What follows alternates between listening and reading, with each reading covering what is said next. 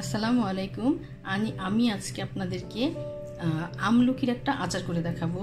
দেখা গেছে অনেক সময় ঘরে আমলকি নিয়ে আসলে সে আমলকিগুলো নষ্ট হয়ে যায়, দেখা গেছে খাওয়া হয় না।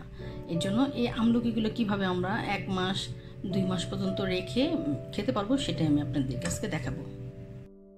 এখন আমি আমলকিগুলো এরকম করে কেচে নিয়েছি ছুরি দিয়ে। এখন আমি এগুলোও কেচে নিব। এখন আমি এক গ্লাস পানি নিয়েছি। এই এক গ্লাস পানি আমি ঢেলে দিব। এক গ্লাস পানি ঢেলে এখন আমি এখানে এক চামচ লবণ দিয়ে দিব।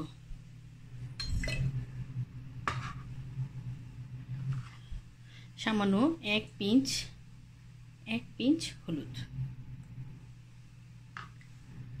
এখন আমি এখানে একটা কাঁচা শুকনো মরিচ নিয়েছি। এই মরিচটা আমি কেটে দিয়েছি।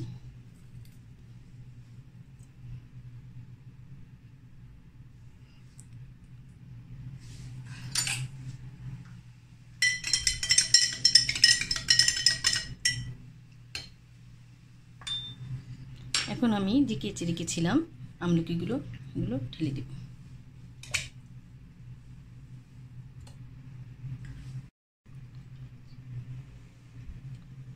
এখন আমি এখানে এই যে ন্যাচারাল ভিনেগার নিয়েছি। এখান থেকে এক এক নিয়ে, এক, এটার এক এক দিয়ে দিব।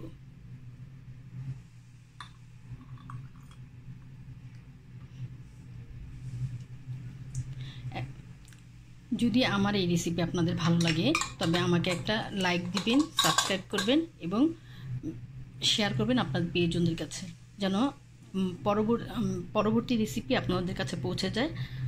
আমি রেসিপি আপলোড দেওয়ার সাথে সাথেই। এখন এই ইয়েটাকে আমি আচারটাকে আমি দশ দিন রেখে দিব। দশ দিন পর আপনারা এটা খেতে পারবেন। আর এটা দুই তিন মাস রেখে বাসায় আপনি যখন এটা খেতে পারবেন, নষ্ট হবে না।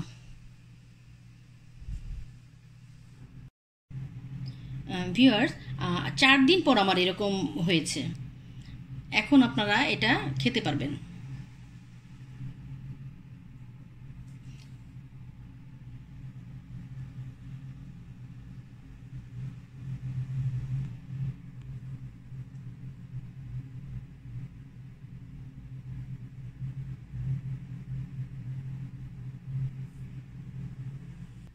ভিউয়ার্স আমরা আজকে টেস্ট করে দেখলাম যে জিনিসটা এত মজা হয়েছে, আপনারাও বাসায় তৈরি করবেন করে আপনারা দেখবেন কেমন হয়েছে।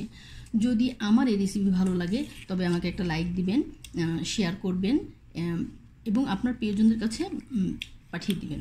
এবং আমার বেল আইকনটি বাজিয়ে রাখবেন যাতে আমি পরবর্তী আপলোড দেওয়ার সাথে সাথে আপনাদের কাছে পৌঁছে যায় আপনার আমার রেসিপিগুলো আল্লাহ হাফিজ।